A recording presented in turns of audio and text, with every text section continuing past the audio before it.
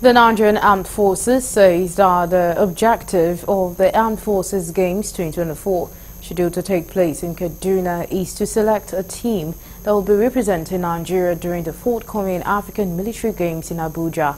Speaking at a press conference in Kaduna, the Director of Sport Defense Headquarters, who is also the Chairman Organizing Committee for the Armed Forces Games 2024, AVM Abidemi uh, said 1,600 athletes would compete during the Armed Forces Games in Kaduna. He said the games will begin from 23rd to 27th of September in Kaduna with the theme Enhancing Military Professionalism Through Sport.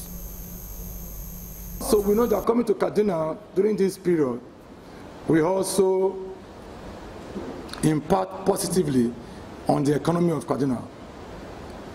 At present, we have 1,600 athletes now from the Army, Navy, and Air Force. They are in camp in Kaduna. So all these athletes, they are going to engage with, aside from the sporting activities they are going to engage in, they're also going to engage in some one form of uh, economic activities or the other.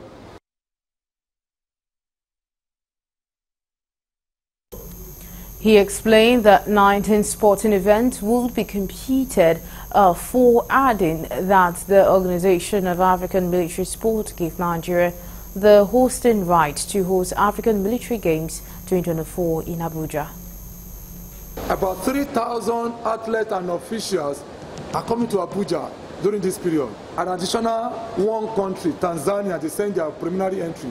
So as of today, we have 43 countries that have sent in their entries.